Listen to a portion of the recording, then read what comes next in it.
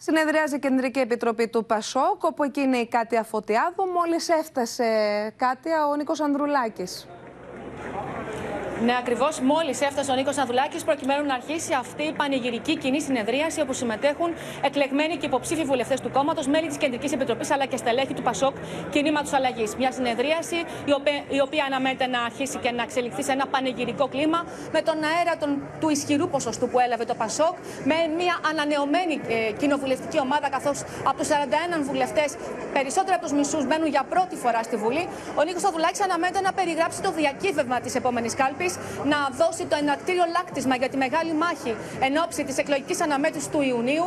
Θα ζητήσει σε αυτό το γενναίο, σε αυτή τη γενναία νέα αρχή να συμμετάσχουν όλοι. Θα απευθύνει προσκλητήριο προς τους ψηφοφόρους του κέντρου και της κεντροαριστερά που κάποτε ψήφισαν Πασόκ και τώρα δεν τους καλύπτει ούτε ο Κυριάκος Μητσοτάκης γιατί έχουν απογοητευτεί, αλλά ούτε και ο Αλέξης Τσίπρας γιατί φοβούνται ότι μπορεί να επιστρέψει και να κάνει τα ίδια ερχόμενος στην εξουσία. Σε αυτούς λοιπόν θα απευθυνθεί και θα ζητήσει και θα πει ότι η στόχευσή του είναι το Πασόκ κίνημα αλλαγής να εκφράσει πλειοψηφικά τον προοδευτικό κόσμο της χώρας. Να γίνει, να καταστεί σε αυτή την κατάλληλη δυναμική συγκυρία για το Πασό Κίνημα Αλλαγής η ισχυρή, ο ισχυρός, προοδευτικός, αξιόπιστος πόλος στον χώρο της αντιπολίτευσης.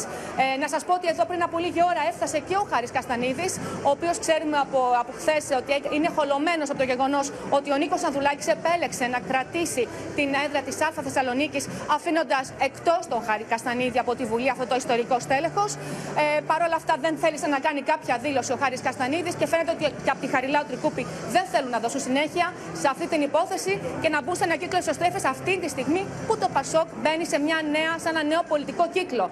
Κλείνοντας, να σας πω ότι το απόγευμα στις 5 η ώρα ο Νίκος Σταδουλάκη θα συναντηθεί με, τους, ε, με τη νέα του κοινοβουλευτική ομάδα στο γραφείο του στη Βουλή και αύριο θα συγκληθεί πολιτικό συμβούλιο στα γραφεία του κόμματος στη Χαριλάου Τρικούπη. Βλέπουμε και εμείς κάτι τα πλάνα που είναι live αυτή την ώρα. Ανάμεσα τους, εκτός από τον κύριο Καστανίδη, που δεν έκανε, όπως είπες, δήλωση, και ο πρώην Πρωθυπουργός, ο κύριος Παπανδρέου και ο κύριος Σκανδαλίδης και άλλα κορυφαία στελέχη. Σε ευχαριστούμε πολύ.